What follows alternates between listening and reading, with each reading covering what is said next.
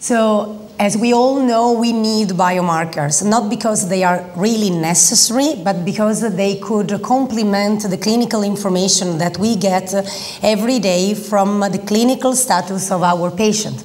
And the problem is that the stronger is that we need the link between the biomarker and the clinical course of action to be the strong, the, the, as stronger as possible in order it to be useful. suPAR has been widely studied in the general population, and here I just chose some of the studied, not because they are the most important, but because, first of all, they make part of suPAR history, and uh, because they can show that suPAR has been used or has been found to be useful in different kind of population. The problem is that the ICU is a complex setting for biomarkers. First of all, there are high, uh, big ICU and small ICU settings. Patients are usually unselected. They can be medical, surgical, or trauma patients. Most of them may have uh, one single organ dysfunction, but unfortunately, multiple organ dysfunction is uh, often present. We do not know how big is the interaction between a biomarker and the drugs that we gave, give to our patients. We are not so aware of the interaction between biomarkers and immunodeficit if they are intrinsic in the patient or if they are um, determined by the drugs that we give to the patients. Patients are often hypo or mal, uh, suffering from hypo or malnutrition.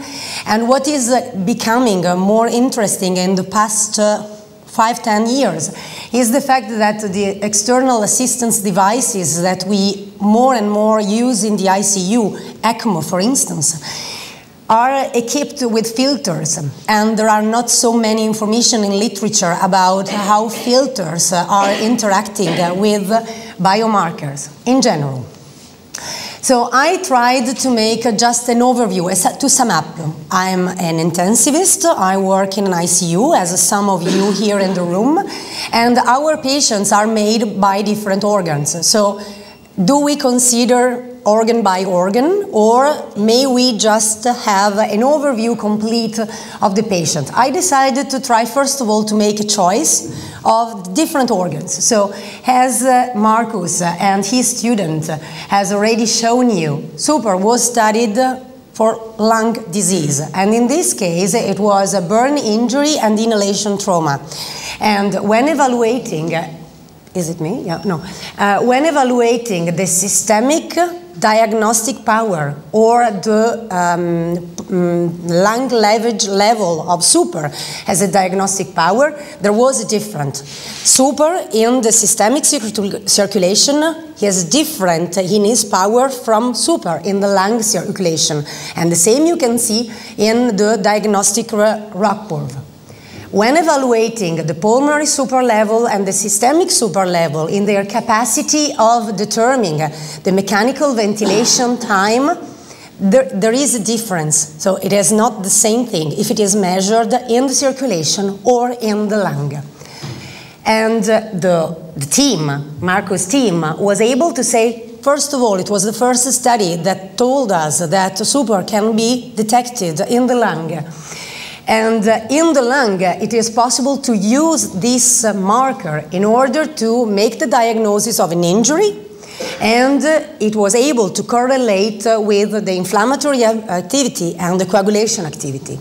But it was not prognostic. What was prognostic was the systemic suPAR levels, because it was able to predict the duration of mechanical ventilation and the duration of the ICU stay. So this is what we know for the lung right now. When we go to the heart, it's just next to it. So there is a very nice paper by Lyngbæk uh, um, in the American Journal of Cardiology. So they evaluated 296 patients with an ST segment elevation, myocardial infarction, that were admitted for a primary PCI. So I don't know uh, if, uh, um, I think every ICU is different. There are some ICU that admit cardiac patients, some others do not. But in any case, as you can see from the first slide, this one, suPAR is stable. the, the, first 24 hours, it cannot make diagnosis. It cannot be used to say this patient is evident myocardial infarction. And usually we have other biomarkers and clinical evidence that can help us. But when evaluating the, not only the fact if the patient is going to survive or not, I hope that every good doctor is able to say if a patient with a, an, an ongoing myocardial infarction is uh, severe or not. But what is nice, I, I, think, what was nice in this paper is the fact to predict if a patient was at risk of a recurrent episode. And uh, they stratified patients using quartiles, and this is quite uh, often used in literature about suPAR. And even if there was a difference in the uh, four quartile chosen. What was nice was when the authors decided to pull the first three quartiles and the fourth one, which is from 5.65 to 16.52 nanogram per milliliter. So a wide range, but with a cutoff value, which is quite high.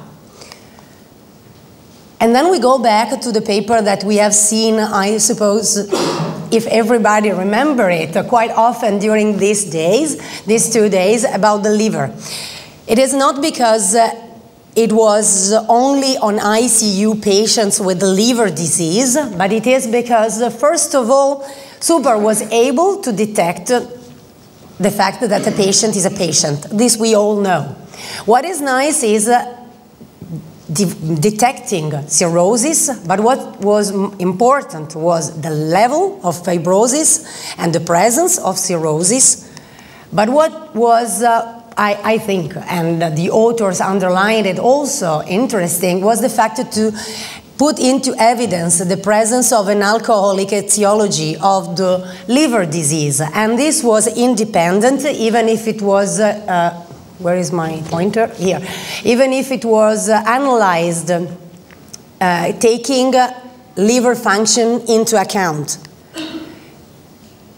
and considering uh, the different quartile, the different levels of suPAR, there was clearly, for instance, here, a difference uh, in the transplant-free day survival between having a suPAR cutoff value before or higher than 9. And why am I putting it into light? Because the levels of suPAR that I will try to, to show you mm, slide by slide is increasing from what you have seen up to now. So there was a run-up regulation of suPAR in patients with an alcoholic origin of liver disease a lack, and we lack for an ethanol marker of disease. But the problem is that we do not know if a suPAR is involved in the liver pathology or if it could be a target for the therapy. We go to the brain, so there are not so many studied about, uh, studies about uh, how to measure and when to measure suPAR and the uh, cerebrospinal fluid. This study evaluated the presence of uh, um, meningitis, encephalitis, or lymphocytic meningitis, and as you can see, there was a difference. The problem is that it was not recommended for diagnosis, but it could be, but there was an association with fatal outcome, so prognosis again. And I think that most of you have seen this nice picture considering the involvement of suPAR in the generation of renal glomerulosclerosis. So probably being not only the um, witness of something which is happening, but being an actor of a renal uh, disease. And the problem is that most of our patients come to the ICU because they are septic.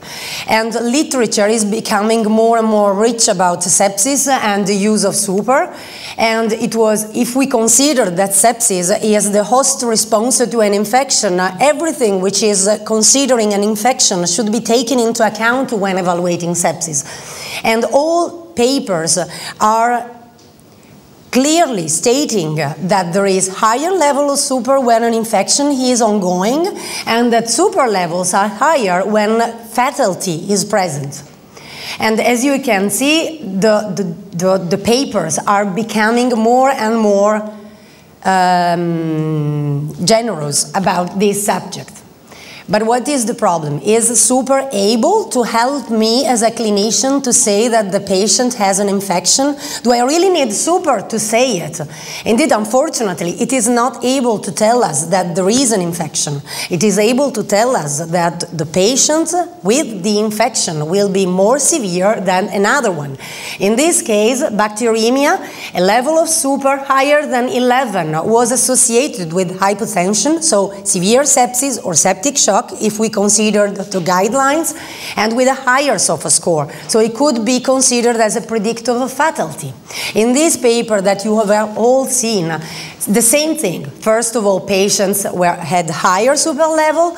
The presence of sepsis uh, was associated with a higher level of suPAR. And when evaluating, first of all, the sepsis predicted value, so the diagnostic power, here it was not higher than other biomarkers. And the authors concluded that it was necessary to have further studies for it. In the study that we made, the same thing.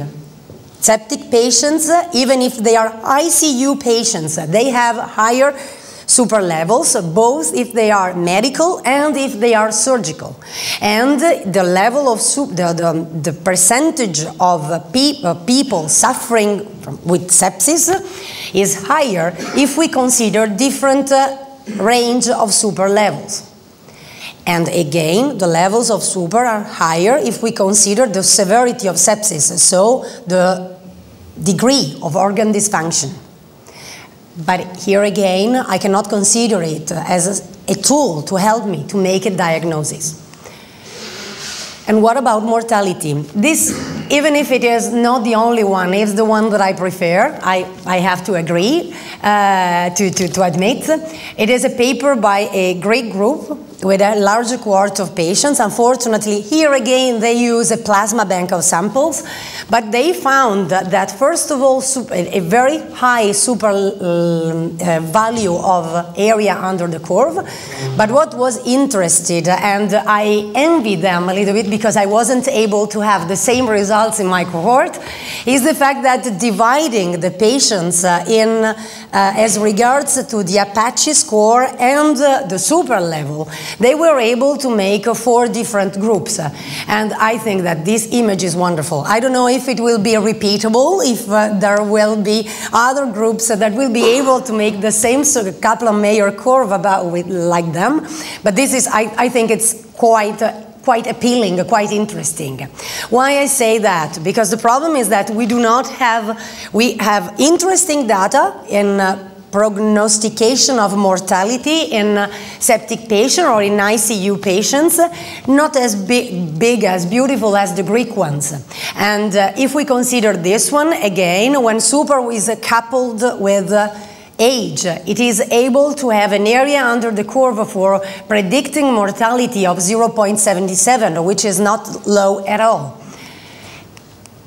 And again, the, the work by Alexander the survival was uh, clearly different uh, in patients uh, having high level of suPAR and having low level of suPAR.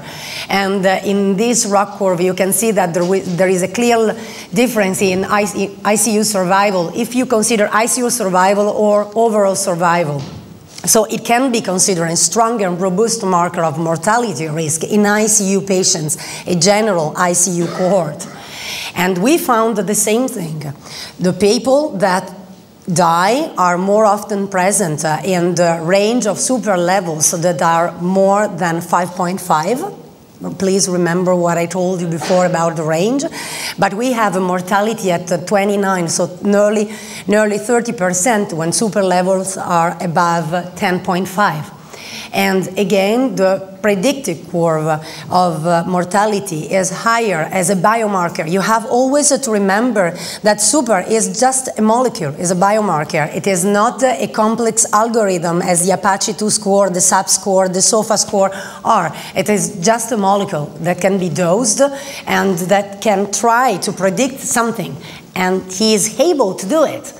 And when evaluating, so the uh, general population, we can use 6.15 nanogram per milliliter. When you evaluate uh, a sepsis cohort, we get to a value of suPAR, which is above 10, as I told you before.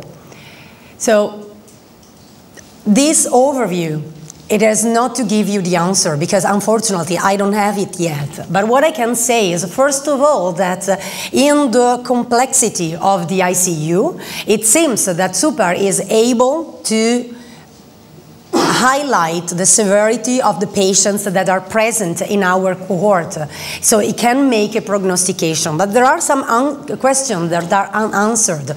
First of all, is it high in ICU patients or in severe patients because it is a witness? because it participates to the mechanism of sepsis and critical illness in general, and so it results in high mortality?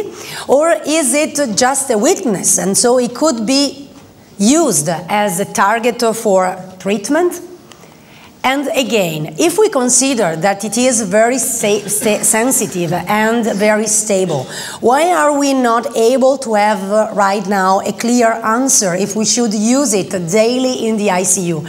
And on this basis, base, I think that, as Marcus said and somebody else said before, we really need a large trial I think that we need a multicentric trial, prospective, but it should be clinic, clinical decision should be suPAR based. I do not agree with Marcus about the potential of reducing the length of treatment because all the studies are showing that suPAR is quite stable during treatment for many days. But I think that it could help us to put our attention to another organ or to another situation that probably is passing uh, underseen. But I really think that it is necessary to do something prospective and blinded because otherwise we are just going on retrospective, usually on plasma bank, and we are not making decision and we are not seeing if there is a difference in making a decision by using this biomarker. And I thank you.